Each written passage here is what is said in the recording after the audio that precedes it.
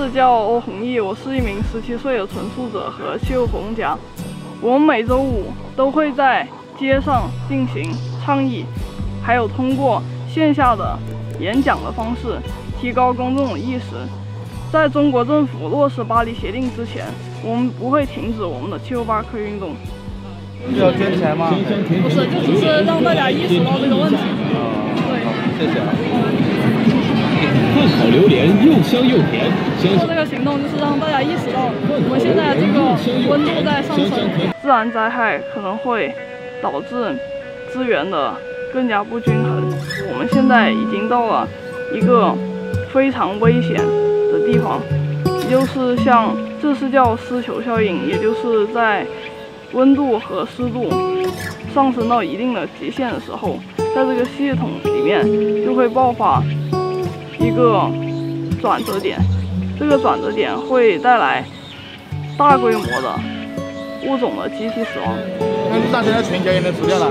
不是全球人死掉了，是会有越来越多的洪水。啊，我知道你的意思了。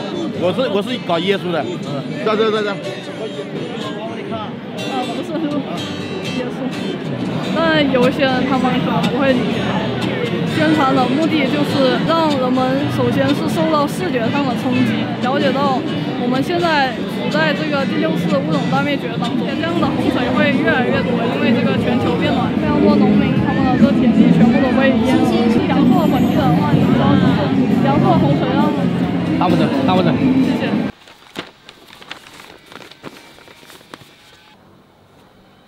写了一个提高环保意识，觉知产生多少垃圾，还有一个有一群伙伴可以坚持督促自己运动，强健体魄。山水阳朔，行动让它更美，以及呃洁净的空气、清洁的水以及充足的食物，这些都是大自然给我们的馈赠，也是所有生命的基础。这里有一点海。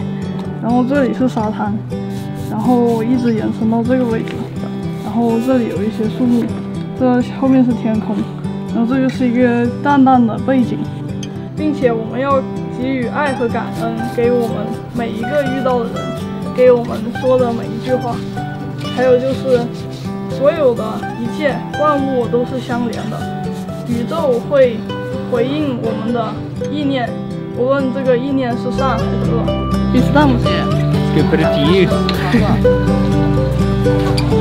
我坐在那个海滩旁边画这个的时候，就有人就过来问我，小心，有人过来问我，我在画的是什么？是学生吗？然后我就说，这个活动是每天都进行的，而且不仅有学生，还有职场人士，每天都会来参加我们这个环保净滩的活动，所以欢迎大家。就不管是带着自己的孩子，还是我们是找到了什么？哇哦哇哦！哦，用这个机会来传达环保，还有爱护环境的这种观念给孩子。很多家长也是非常希望通过这个机会来让孩子能够认识到我们。这个自然的美丽，还有保护自然环境的重要性。快点，一会打石头啊！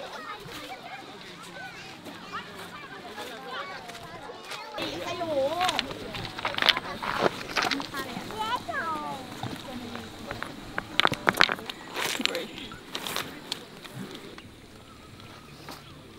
有一个时刻让我感受到我重新回归了自然，我在。大自然里面感受到了桂林这个地方，它从小到大一直都是在用它的山水，在用它所有的一切清洁的空气、充足的食物和洁净的水，这些所有生命最基础、最必须的东西。我那时候也有很强烈的一种情感，也就是我意识到了中华传统文化它带来的古人的这样的智慧。它教会我们与自然和谐相处，并且重新去寻找到每个人与自然那种与生俱来的链接，重新去思考人类与自然的关系，以及人类现在这种高科技、现在这种急速发展的状态是否是真正的可持续和有韧性的？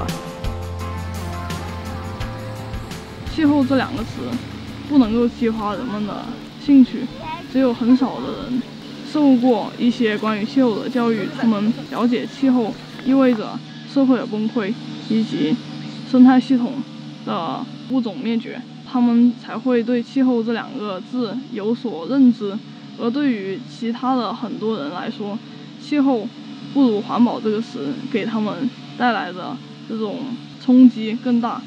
他们不理解气候是什么意思。把收集收集，东西都收集啊。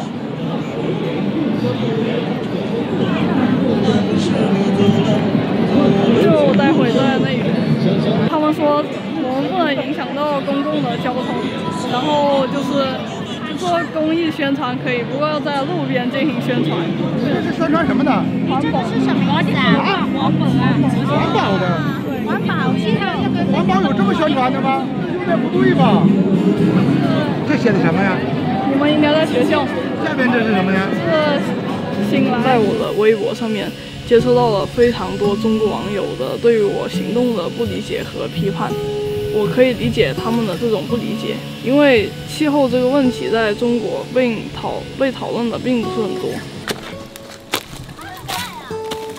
而非暴力运动在中国历史上也有非常多成功的实践，比如说五四运动，当时我们的这样的中国年轻人，这些都是我们中国人的传统和习惯，而我们现在已经忘掉了这样的传统。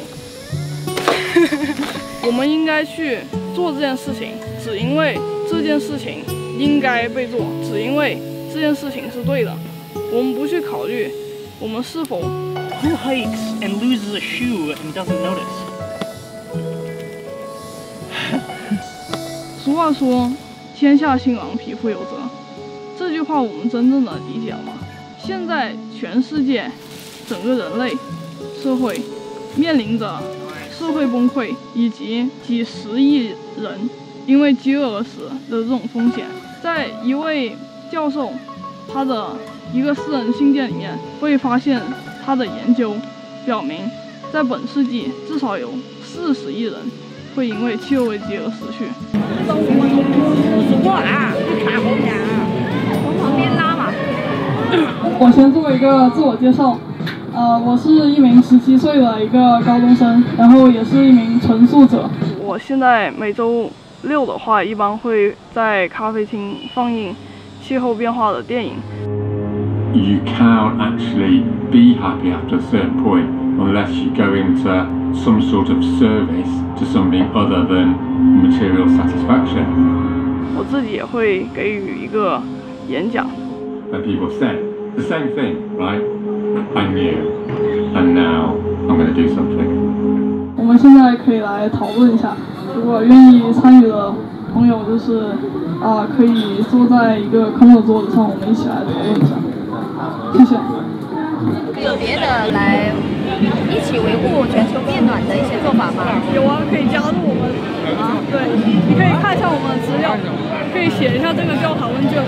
新鲜水果制作的人工水果冰棒，没有填完，还要填吗？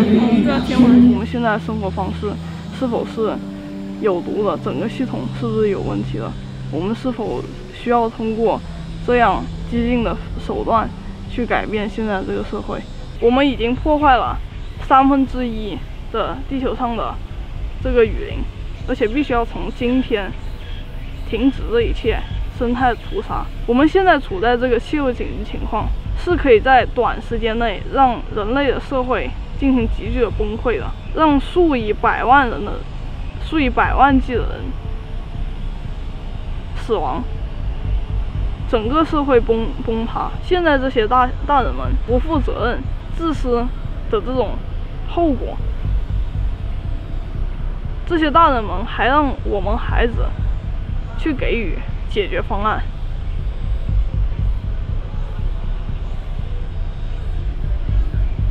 大家想想这个问题吧。我们需要去承担你们的责任，我们需要去承担你们这种不行动的后果。我们还负责给你们希望，给你们解决方案，不可能。我们只有用我们的声音，用我们的道德权威，去让你们被迫的，或者是让你们真正的感化和受到激励，通过我们进行自我牺牲的这样的行为，让你们真正的感化和受到激励，去改变这个社会。因为只有你们现在有能力去改变现在的经济和社会的系统。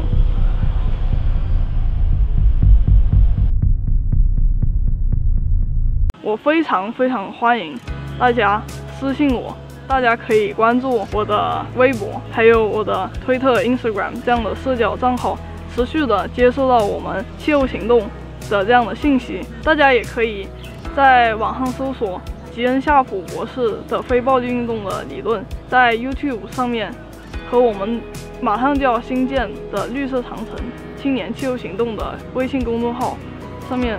搜索 Extinction Rebellion 反抗灭绝的演讲，还有培训。在线下呢，大家可以把这个学习到的内容，今天学习到内容分享给朋友，去亲自的跟朋友、家人去复述一遍学习到的这样非暴力气候行动和气候危机的内容。这样的讨论可以让我们自己加深印象，并且有更多的理解。最关键的一点是感受到自己是一个行动者。参与本地的 XR 或是 Friday for Future 的分布，如果说没有的话，那就自己去建立它嘛，这一点都不困难。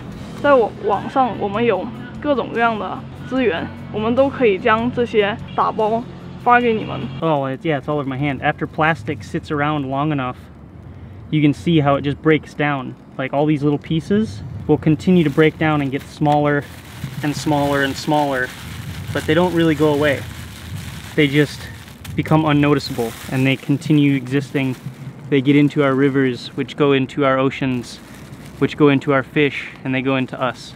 So this is why you should help and why you should care. 并且在线下去进行一些最简单、每个人都可以进行的活动， 比如说在夜市上面摆摊，或者说是在街上进行宣传，或者是简简单单的在学校、在公司、在办公的场所。